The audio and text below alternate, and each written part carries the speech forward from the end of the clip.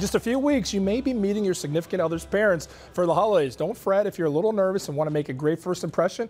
Get some bottles of wine, and we've got some you can take with you. Adam Sager from the family owned company Winesellers Limited is here to break it down for us. Adam, thanks for being here with thanks us. for having me. Really appreciate it. So, I, I hear that you don't have to bring out the expensive wines necessarily to impress, right? Definitely not. There's so many great values out there in the market right now.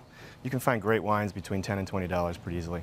Really? 10 to $20? In fact, yeah, I mean, my family owns a wine import company. We just had all of our neighbors over. And I think the most expensive wine I took out was maybe $18 retail. And I think everybody, you've got everybody's everybody really attention enjoyed now. it. So you don't have to go big. You, don't have to go can big, no. still go home with something that's not that expensive. So sure. I brought my buddies because they've asked to be involved in this. When they saw the wine, they got really excited. It's kind of difficult working with me for 90 minutes without some alcohol. so I'm going to bring in Danielle. I'm going to bring in Brandon Pope. They're going to be uh, We're some excited taste to be testers. some taste Yeah, testers. why Try not? some stuff. So Never Adam, why don't you take us through the first one here? It's We got- happy hour somewhere, right? Yeah, absolutely. Okay, so the first, the first wine I brought was actually a sparkling wine.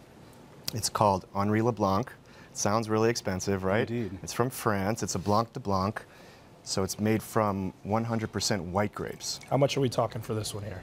Well, why don't you taste it first? Okay. And then we'll maybe have you guess. Brandon, don't finish the whole thing. I can know tell you. Danielle will approach this with I'm a man of class. All right, go ahead. You guys, you're Dig up. in. All All right. right. Okay. Thank Cheers. you. Cheers. All right. To the jam. There you go. So Gotta make sure you France, France is known for sparkling wine. Swirl And the most famous region is Champagne, for example. Um, they also make sparkling wine in Burgundy and the Loire Valley and Alsace. Ooh, this I like wine, that. this wine comes from from the Burgundy region. It's made from 100% white grapes. How much do you think it is? Percentage of alcohol? No, price. she's I think looking to get she's really thinking deep. I'm gonna say I'm gonna go with twenty dollars. I'm going to say 40. How about 8.99? Ooh, Whoa. that's good. Okay. So that That's within the budget. 8.99 Alright. at Binny's. You can pick that one Up. I like that one. What do we have here? So this next one is from Spain. It's called Carlos Serres. It's from Rioja. Okay.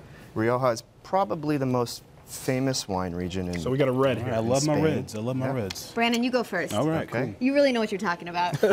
So in, in Rioja, they grow a grape variety called Tempranillo, and that's the main red grape used You want to toast it? in Spanish wines. This would be a lighter red. Okay. Um, you know, if you're going to a dinner party, you want to maybe have a, a light red and Ooh, a full-bodied very red. light. Some people like lighter, fruitier reds. It's Thank got you, a bold friend. flavor as soon as it hits your tongue too. Like I, I really like this one a lot. What do you Okay. think? Yeah, I like this one. This Yeah? is very good. I'm not as much of the wine connoisseur. That's why I brought my two friends here to class it up a little bit. And obviously, Adam, you know what you're talking about. So how much are we So, talking for so that? in Rioja, they make great value. Um, you can find wine for $10. You can find wine for 15 20 25 This one falls about $11.99 retail. Wow, these are good $12. prices. and the yeah. thing is, I think it's great is if you show up with these, someone's like, man, they really invested and put a lot of money The in it. packaging's nice. It, it sounds right. It sounds like it comes from Spain. Sounds amazing. And it tastes right. But most important to note, you're not cheapening the quality. I mean, this is really good stuff, no, everybody. tastes So great. 30 seconds for the last one here, Adam. What do we have? A grand okay, finale. the last one is called Gran Passione. The That looks like a finale. very fancy bottle. Yes. It's like a very fancy bottle. It has an, has an etched, etched glass Yeah. on the top. A little crest in there. I like This that. one's from Italy. Um, there's a famous wine in Italy called Amarone. Very expensive wine. It's made from uh, dried grapes that they, they put on a mat Okay. for, for days and let them dry out. It's a very Thank you. expensive winemaking process, but this wine is made in a less expensive way to taste like I'm Amarone. gonna like this. I like the smell. So this is a full-bodied red. This is my favorite. That's your favorite. That's really good. Cheers, It's a little guys. more excellent. bitter. Oh, all right. Can I do So- this? when I go to the grocery store, up. I never know what to pick out. So now I'm gonna look for these. Look for look for packaging. Look for a, a wine that sounds right, Yeah. and then and then on right, at the right price point, and then if it tastes right, you've got a winner. Adam Sager, thank you so much for all the tips. And if you're looking for more wines to impress, head over to winesellers.com. It's great, it tastes good, it looks good, and it's inexpensive. You can't beat that, everybody.